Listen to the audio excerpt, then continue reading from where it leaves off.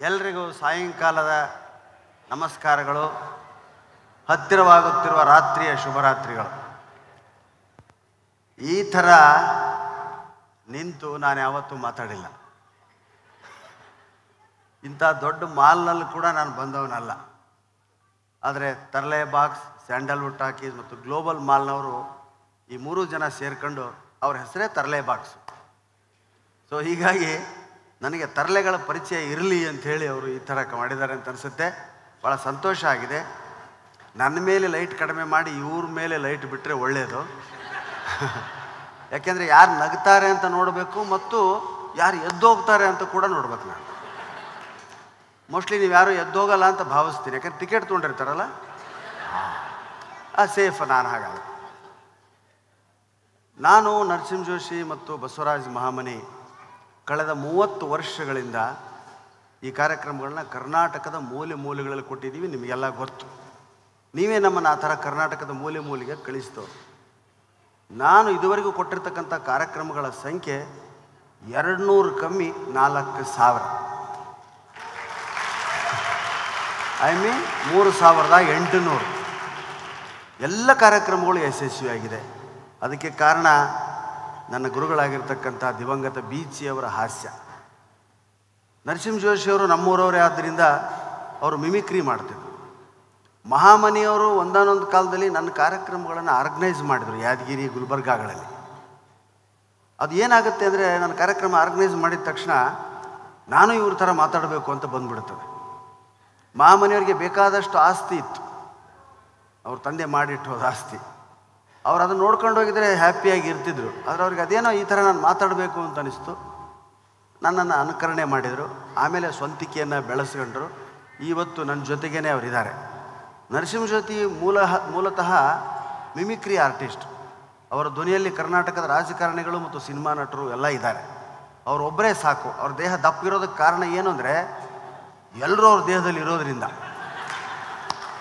So ಹೀಗಾಗಿ ಅವರೆಲ್ಲ ಧ್ವನಿಗಳ mimicry ಮಾಡ್ತಾರೆ. ನಾನು ಪರ್ಟಿಕ್ಯುಲರ್ಲಿ ಬೀಚಿಯವರ ಸಾಹಿತ್ಯ ಕುರಿತು ಮಾತಾಡ್ತಿದ್ದೆ. ಆದರೆ ಇತ್ತೀಚಿನ ದಿನಗಳಲ್ಲಿ ಇತ್ತೀಚಿನ ಪೀಳಿಗೆಯವರಿಗೆ ಬೀಚಿ ಯಾರು ಅಂತ ಗೊತ್ತಿಲ್ಲ. ಸೊ ಹೀಗಾಗಿ ನಾನು ಏನು ಮಾಡಿದೆ ಅಂದರೆ, ಜೀವನದಲ್ಲಿ ಹಾಸ್ಯ, ಕೌಟುಂಬಿಕ ಹಾಸ್ಯ, ಅಥವಾ ಬೀಚಿಯವರ ಪ್ರಶ್ನೋತ್ತರಗಳು. ಇಲ್ಲಿ ಬೀಚಿಯವ್ರನ್ನ ಓದಿರತಕ್ಕಂಥ ಯಾರಾದ್ರೂ ಇದ್ದರೆ ಸ್ವಲ್ಪ ಕೈ ಮೇಲೆ ಎತ್ತರ ಬೀಚಿಯವ್ರ ಪುಸ್ತಕಗಳನ್ನ ನಾವು ಓದಿದ್ದೀವಿ ಅನ್ನೋರು. ಒಂದು, ಎರಡು, ಮೂರು, ನಾಲ್ಕು. ಹಾಂ. ಓಕೆ ಸಾಹಿತ್ಯ ಓದೋರು ಜನ ಬೀಚಿ ಮಾತ್ರ ಅಲ್ಲ. ಸಾಹಿತ್ಯ ಟಚ್ ಇದೆ ಸರ್, ನಾವು ಪುಸ್ತಕ ಓದ್ತೀವಿ ಅಂತ.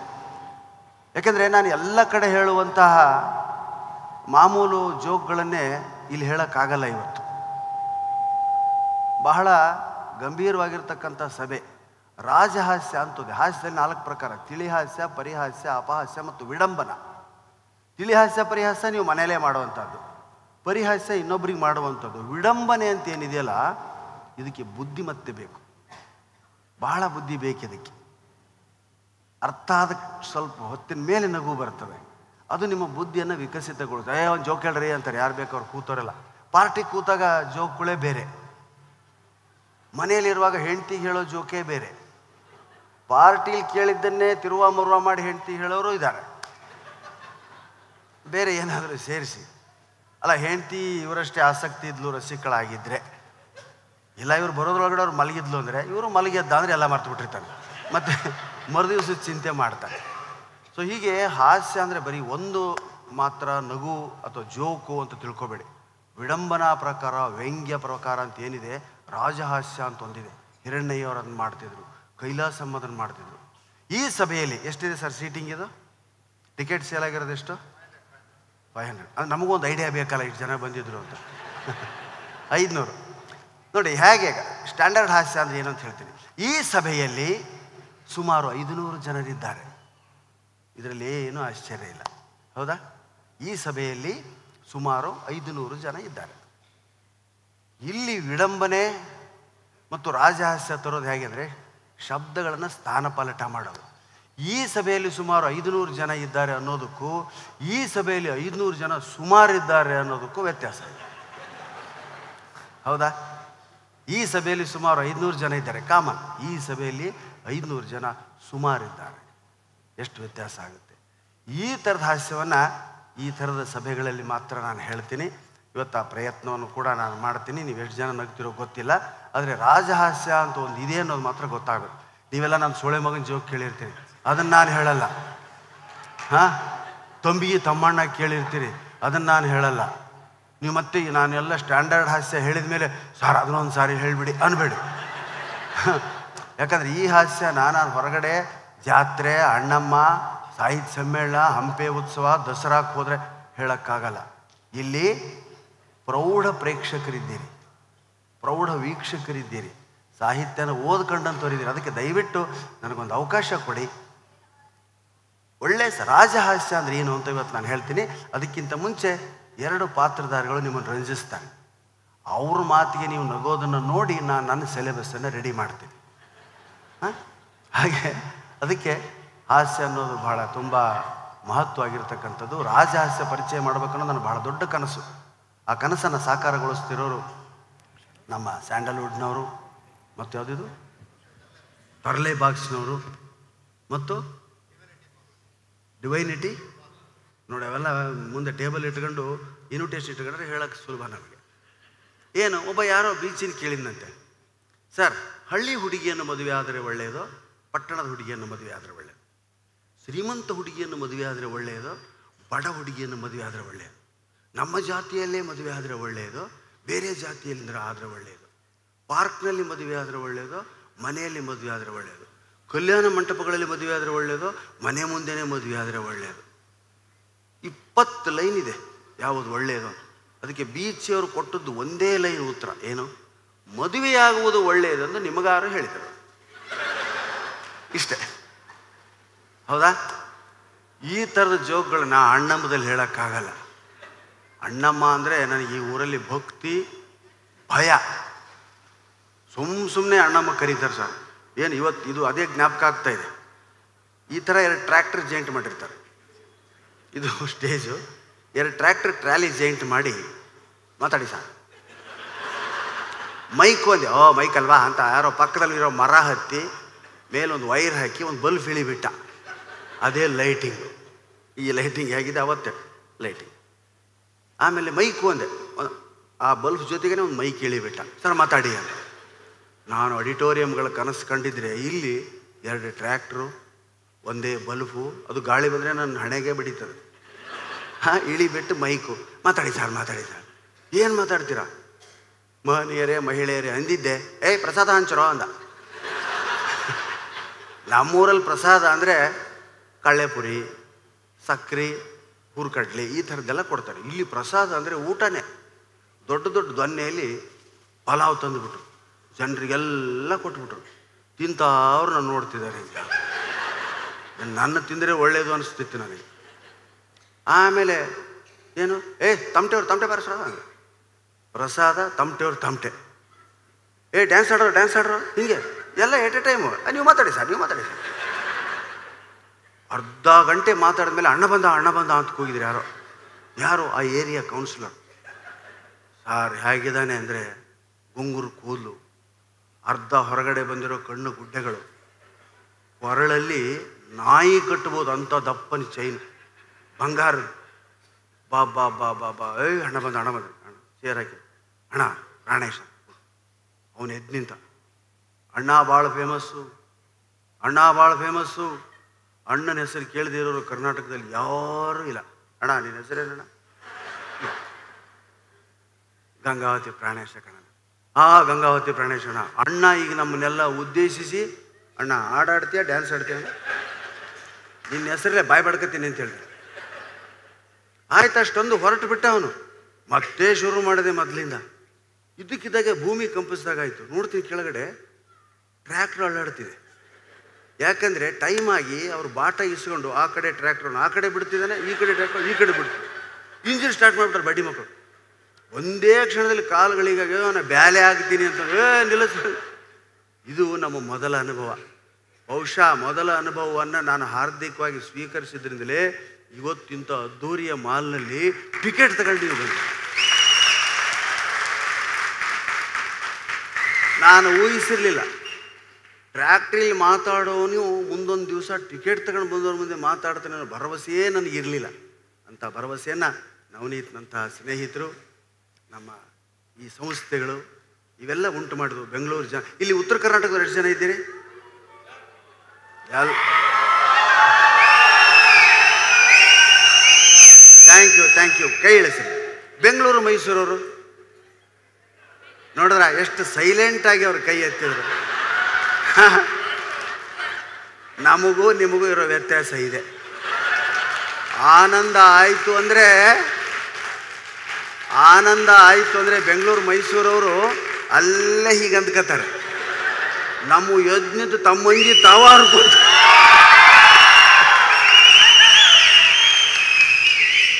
ಸ್ಕ್ರೀನ್ಗೆ ಹೂವು ಉಗ್ಗೋದು, ಸ್ಕ್ರೀನ್ಗೆ ಕೈನ್ಸ್ ಹಾಕೋದು ನಮ್ಮ ಕಡೆ ಕಾಮನ್. ಇಲ್ಲಿ ಅಯ್ಯೋ ತುಂಬ ಗಲಾಟೆ ಇದೆ ಇನ್ನೊಂದು ದಿವಸ ಬರೋಣ. ಇದು ಎರಡು ಧ್ರುವಗಳಿದ್ದಂಗೆ ನಾವು, ಆ ಕಡೆ ಜನ, ಈ ಕಡೆ ಜನ. ಎರಡೂ ಧ್ರುವಗಳು ಜನ ಏನಿದ್ದಾರೆ, ಅವರೆಲ್ಲ ನಮ್ಮ ಅನ್ನದಾತರು, ನಮ್ಮ ಭಾಗ್ಯದಾತರು, ನಮ್ಮನ್ನು ಕರೆಸೋರು ಅಂತ ಹೇಳ್ತಾ ಇದು ನನ್ನ ಪೀಠಿಕೆ. ಇಬ್ಬರು ನನ್ನ ಸ್ನೇಹಿತರು, ಶಿಷ್ಯರು ಇಬ್ಬರು ಸೇರಿ ಅದು ಎಷ್ಟು ನಗಿಸಿದ್ರು ಅಂದರೆ ಇವರಿಷ್ಟು ನಗಿಸ್ತಾರೆ ಜನರನ್ನ ಅಂತ ನನಗೆ ಗೊತ್ತಿರಲಿಲ್ಲ. ವಂಡರ್ಫುಲ್ ಅವ್ರು ನಗಿಸಿಲ್ಲ. ನೀವು ನಗಬೇಕು ಅಂತ ಪ್ರತಿಜ್ಞೆ ಮಾಡಿ ಬಂದಿರಿ. ಟಿಕೆಟ್ ಎಷ್ಟು ಇಟ್ಟಿದ್ರಂದ್ರೆ ಸರ್? ಹಾಂ, ಅದರದ್ದು ಪರಿಣಾಮ ಇರುತ್ತೆ ದುಡ್ಡು ಕೊಟ್ಟಿವಿ, ಯಾಕೆ ಬಿಡಬೇಕು? ನಕ್ರ ಆಯಿತು ನೋಡಿ, ಇದೇ ಜಗತ್ತಿನ ವೈಶಿಷ್ಟ್ಯ ಅಂದರೆ ಅಳು ತಾನಾಗಿ ಬರ್ತದೆ. ಆದರೆ ನಗು ಇನ್ನೊಬ್ಬರ ಆ ಕೆಲಸ ಮಾಡಿದಾಗ ನಗು ಬರ್ತದೆ. ಅದಕ್ಕೆ ನಗಿಸುವುದನ್ನು ಕಲೆ ಅಂತ ಕರೀತಾರೆ. ಅಳುವುದನ್ನು ಅಳುವುದಕ್ಕೆ ಹೆಸರೇ ಇಲ್ಲ ಯಾರು ಬೇಕಾದರೂ ಅಳ್ಬೋದು. ಅಳೋದ್ರಾಗ ಎತ್ತಿದ ಕೈ ಅಂದರೆ ಹೆಣ್ಮಕ್ಳು, ಬಟ್ ಈ ಗಂಡಸರು ಅಳುತ್ತಿದ್ದಾರೆ ಆ ಮಾತು ಬೇರೆ. ಇಷ್ಟೆಲ್ಲ ಜನ ಮಾತಾಡಿದ್ಮೇಲೆ ನಾನು ಏನು ಹೇಳಲಿ ಅನ್ನೋದು ನನಗೆ ಭಾಳ ಸಂದೇಹ ಉಂಟಾಗಿದೆ ಮತ್ತು ಸಂದಿಗ್ಧಕ್ಕೂ ಬಿದ್ದಿದ್ದೀನಿ. ನಮ್ಮ ಜೋಶಿ ಅವರು ಆಗಲೇ ಹೇಳಿರ್ಬೇಕು ಫೋಟೋಗ್ರಾಫರ್ ಬಗ್ಗೆ. ನಾನೊಂದು ಕಡೆ ಕಾರ್ಯಕ್ರಮ ಕೊಡ್ಲಿಕ್ಕೆ ಹೋಗಿದ್ದೆ. ವೇದಿಕೆ ಮುಂದೆ ಮುಂಭಾಗದಲ್ಲಿ ಕೂತಿದ್ದೆ.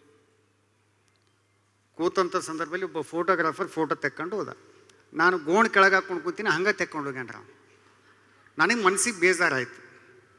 ನಾನು ಹೇಳಿದೆ ಏನು ರೀ ನಾ ಗೋಣ್ ಕೆಳಗೆ ಹಾಕ್ಕೊಂಡು ಕೂತೀನಿ, ಹಂಗೆ ಫೋಟೋ ತೆಕ್ಕೊಂಡು ಹೋಗೋಣ ಅಂದೆ ನಾನು. ಅದಕ್ಕೆ ಅವ್ರು ನನಗೆ ಸಮಾಧಾನ ಮಾಡಿದರು.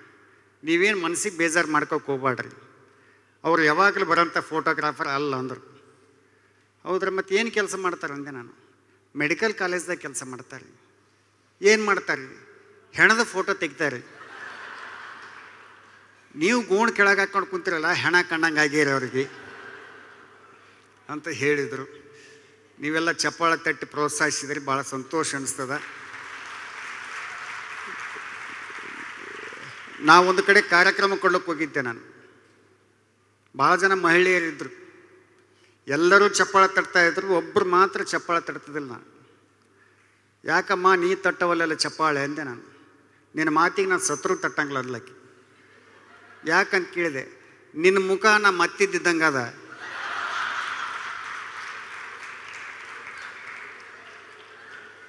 ಹಿಂಗಾಗಿ ನಾ ತಟ್ಟಂಗಿಲ್ಲ ಅಂತ ಹೇಳಿದ್ಲು. ನನ್ನ ಮುಖ ನಿಮ್ಮ ಹತ್ತಿದ್ದೇನು ಇದ್ದಂಗೆ ಇಲ್ಲಲ್ರಿ? ಇಲ್ಲ ಅಂತ ಜೋರಾಗಿ ಚಪ್ಪಾಳೆ ತಟ್ರೆ ಒಂದ್ಸಲ, ಯಾಕೆ? ಸಂಕೋಚ ಯಾಕೆ ಮಾಡ್ಕೊಳ್ಳೋದು?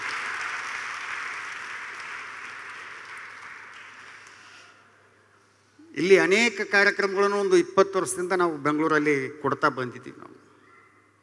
ನಾವು ಮೊಟ್ಟ ಮೊದಲ ಕಾರ್ಯಕ್ರಮ ಶಿವರಾತ್ರಿ ಕೊಟ್ಟಿದ್ರಿ. ಸಾಯಂಕಾಲ ಏಳು ಗಂಟೆ ಸ್ಟಾರ್ಟ್ ಆಯ್ತು ಅಂದ್ರೆ ಬೆಳಿಗ್ಗೆ ಐದು ಗಂಟೆ ತನಕ ಮಲ್ಲೇಶ್ವರಂ ಗ್ರೌಂಡಲ್ಲಿ ಕಾರ್ಯಕ್ರಮಗಳು. ನಲವತ್ತರಿಂದ ಐವತ್ತು ಜನ ಕಲಾವಿದರು ಅವತ್ತು ಒಂದೇ ಕಡೆ. ಆ ಒಂದು ಕಾರ್ಯಕ್ರಮದಲ್ಲಿ ನನ್ನ ಪಾಳೆ ಬಂದಾಗ ಬೆಳಿಗ್ಗೆ ನಾಲ್ಕು ಮೂವತ್ತು. ನನ್ನ ಮುಂದೆ ಒಬ್ಬವನ ಕುಂತಾನ್ರಿ. ನನಗೆ ಸಂತೋಷ ಆಗಿಬಿಡ್ತು ನನಗೆ. ನೀನು ಒಬ್ಬನಾದ್ರೂ ಕುಂತಿಯಲ್ಲಪ್ಪ, ಸಾಕು, ಸಂತೋಷ ಆಯ್ತು ಅಂದೆ ನಾನು. ನನ್ನ ಕಾರ್ಯಕ್ರಮ ಕೇಳಕ್ಕೆ ನೀ ಕುಂತಿಯಲ್ಲ, ಸಾಕು ಅಂದೆ ನಾನು. ನಿಮ್ಮ ಕಾರ್ಯಕ್ರಮ ಕೇಳಕ್ಕೆ ಕುಂತಿಲ್ರಿ ನಿಮ್ಮದಾದ್ಮೇಲೆ ನಂದೈತಿ ಭಾಷಣ ಅಂದವ.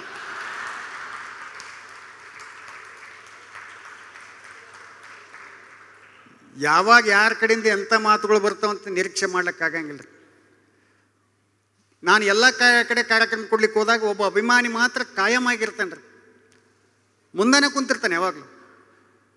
ಸಚಿನ್ ತೆಂಡೂಲ್ಕರ್ ಅಭಿಮಾನಿ ಹೆಂಗೆ ಯಾವಾಗಲೂ ಒಬ್ಬ ಬಣ್ಣ ಬಡ್ಕೊಂಡು ಬಂದು ಕೊಡ್ತಾನೆ ನೋಡ್ರಿ. ಆ ಟೈಪ್ ಮುಂದಾನೆ ಬಂದು ಕೊಡ್ತಿದ್ದ ಸಂತೋಷ ಆಯ್ತು ನನಗೆ.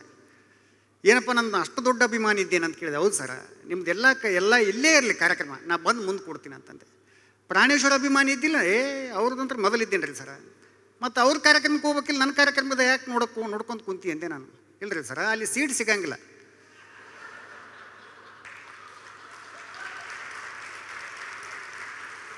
ಅಲ್ಲಿ ಫುಲ್ ಆಗಿರ್ತಾರೋ ನೀ ಎಲ್ಲಿ ಮಾತಾಡ್ತೀಯಲ್ಲ ಅಲ್ಲಿ ಖಾಲಿ ಇರ್ತದ. ಈಜಿ ಸೀಟ್ ಸಿಗ್ತಾವೆ ನನಗಂತ ಹೇಳಿದ್ದಾತ ಅಪಮಾನಗಳನ್ನು ಹಾಸ್ಯವಾಗಿ ಸ್ವೀಕರಿಸಿ ಮಾತನಾಡುವಂಥ ಕಲಾವಿದರು ಬಂಧುಗಳೇ. ಭಾಳ ಜನ ತಾಯಂದ್ರು ಬಂದಿರಲಿ ಭಾಳ ಸಂತೋಷ ಅನಿಸ್ತಮ್ಮ.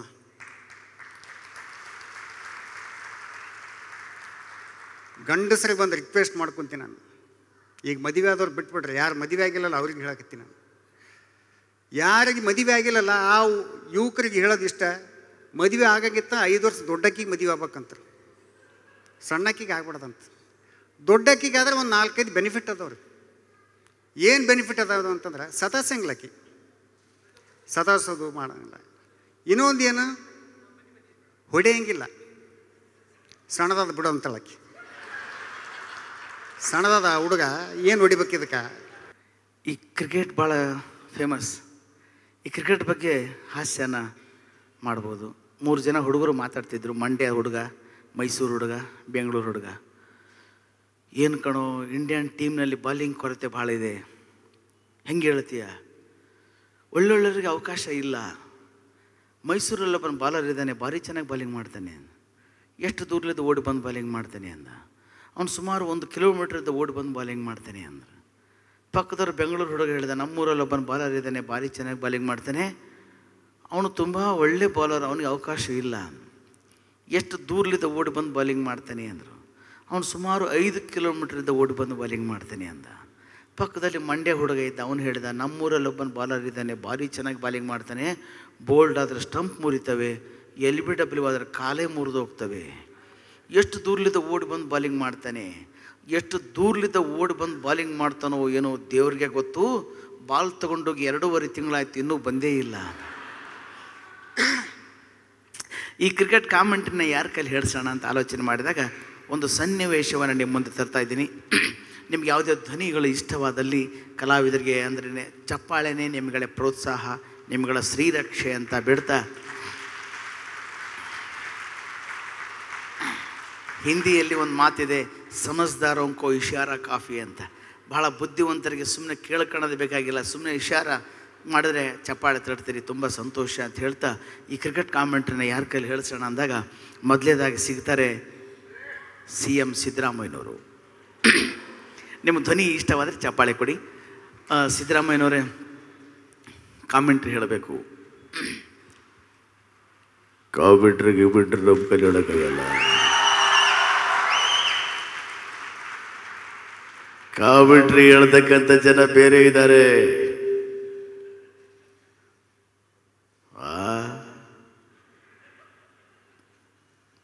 ನಿಮಗೆಲ್ಲ ಗೊತ್ತಿರ್ಬೋದು. ಯಾವ ರೀತಿ ಸುವರ್ಣ ಅದ್ಭುತವಾಗಿರ್ತಕ್ಕಂಥ ಬ್ಯಾಟಿಂಗ್ ಮಾಡ್ಬೋದು ಅಂತ ನನಗೆ ಗೊತ್ತು. ಈ ಕಾಮೆಂಟ್ರಿ ಗಿಮೆಂಟ್ರಿ ಹೇಳ್ತಾ ಕೂತ್ಕೊಂಡ್ಬಿಟ್ರೆ ಐದು ವರ್ಷಗಳ ಕಾಲ ನಮ್ಗೆ ಸರ್ಕಾರ ನಡೆಸಕ್ಕಾಗುತ್ತೇನ್ರಿ? ಆ? ಏನೇ ಒಂದು ಸಣ್ಣ ವಿಷಯ ಮಾತಾಡಿದ್ರೆ ಅದನ್ನೇ ದೊಡ್ಡದು ಮಾಡಿಬಿಡ್ತಾರೆ.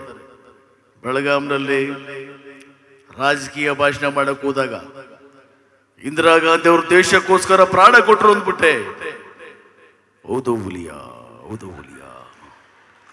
ಈ ಕಾಮೆಂಟ್ರಿ ಹೇಳ್ಬೇಕಾದ್ರೆ ನಮ್ಮ ಕೈಲಾಗಲ್ಲ ಬೇರೆ ಯಾರಾದರೂ ಕೇಳ್ಕಡೆ ಹೋಗಿ ಅಂದರು. ಆಯಿತು. ಅಲ್ಲಿಂದ ಬಂದ್ವಿ. ದೇವೇಗೌಡರಲ್ಲೇ ಇದ್ದರು ದೇವೇಗೌಡ್ರೆ, ಸರ್, ಕ್ರಿಕೆಟ್ ಕಾಮೆಂಟ್ರಿ ನೀವು ಹೇಳಬೇಕು. ಅಲ್ಲ ಸ್ವಾಮಿ, ತೊಂಬತ್ತು ವಯಸ್ಸಿನಲ್ಲಿ ಕಾಮೆಂಟ್ರಿ ಹೇಳೋಕ್ಕಾಗತ್ತೇನ್ರಿ ನಮಗೆ? ಕ್ರಿಕೆಟ್ ಕಾಮೆಂಟ್ರಿ ಗಿಮೆಂಟ್ರಿ ನಮ್ಮ ಕೈಲಿ ಹೇಳೋಕ್ಕಾಗಲ್ಲ. ಕಾಮೆಂಟ್ರಿ ಹೇಳ್ತಕ್ಕಂಥವ್ರೆಲ್ಲ ಬೇರೆ ಜನ ಇದ್ದಾರೆ. ಸರ್ ಕ್ರಿಕೆಟ್ ಬಗ್ಗೆ ನಿಮ್ಗೇನು ಗೊತ್ತು ಸರ್ ಎಲ್ಲ ಗೊತ್ತು ಸ್ವಾಮಿ. ಒಂದು ಲೈನ್ನಲ್ಲಿ ಹೇಳಿ ಏನು ಗೊತ್ತು? ಯಾವ ಸಂದರ್ಭದಲ್ಲಿ ಯಾವ ವಿಕೆಟನ್ನು ಹೆಂಗೆ ತೆಗಿಬೇಕಂತ ಗೊತ್ತು ನನಗೆ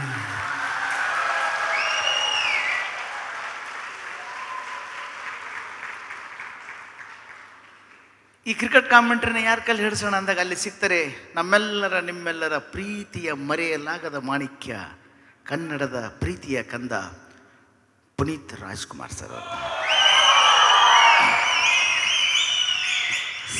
ಸರ್, ನೀವು ಕ್ರಿಕೆಟ್ ಕಾಮೆಂಟ್ ಹೇಳಬೇಕು. ಕನ್ನಡ ಅಂದ್ರೇ ಪ್ರೀತಿ, ಕನ್ನಡ ಅಂದ್ರೇ ಪ್ರೇಮ, ಕನ್ನಡ ಅಂದ್ರೇ ವಿಶ್ವಾಸ. ಕನ್ನಡ ಅಂದ್ರೇ ನಂಬಿಕೆ, ಕನ್ನಡ ಅಂದ್ರೇ ತಾಯಿ, ಕನ್ನಡ ಅಂದ್ರೇ ದೇವು. ಪ್ರಪಂಚದಲ್ಲಿರೋ ಎಲ್ಲ ಕನ್ನಡ ಅಭಿಮಾನಿಗಳಿಗೆ ಈ ಪುನೀತ್ ರಾಜ್ಕುಮಾರ್ ಮಾಡುವ ನಮಸ್ಕಾರಗಳು. ನಿಮ್ಮ ನಿಮ್ಮ ಮಕ್ಕಳಿಗೆ ನಿಮ್ಮ ಹೃದಯದಲ್ಲಿ ಒಂದು ಸ್ಥಾನ ಕೊಟ್ಟಿದ್ದೀರೋ ಇಲ್ಲೋ ಗೊತ್ತಿಲ್ಲ. ಅಪ್ಪು ಅನ್ನೋ ಹೆಸರಿಗೆ ಒಂದು ಹೃದಯದಲ್ಲಿ ಸ್ಥಾನ ಕೊಟ್ಟಿದ್ದೀರಾ. ಈ ಕಾಮೆಂಟ್ರಿ ಗಿಮೆಂಟ್ ಹೇಳಕ್ಕೆ ನನ್ನ ಕೈಲಾಗಲ್ಲ. ಅಪ್ಪಾಜಿಯವರು ಹಾಡಿರೋ ಒಂದು ಸುಂದರವಾದ ಗೀತೆಯನ್ನು ನಿಮಗೋಸ್ಕರ ಅರ್ಪಣೆ ಮಾಡ್ತೀನಿ. ಕೇಳಿ. ನಿನ್ನ ಕಂಗಳ ಬಿಸಿಯ ಹನಿಗಳು ನೂರು ಕಥೆಯ ಹೇಳಿವೆ. ನಿನ್ನ ಪ್ರೇಮದ ನುಡಿಯ ಕೇಳಿ ನೂರು ನೆನಪು ಮೂಡಿವೆ. ತಂದೆಯಾಗಿ, ತಾಯಿಯಾಗಿ ಮಮತೆಯಿಂದ ಸಲಹಿದೆ. ಬಿಸಿಲ ಮೊಳಗೆ ನಡುಕದಂತೆ ನಿನ್ನ ನೆರಳಲ್ಲಿ ಸಲಹಿದೆ. ಆ ಪ್ರೀತಿಯ, ನಿಮ್ಮ ಪ್ರೀತಿಯ ನಾ ಮರೆಯುವುದೇ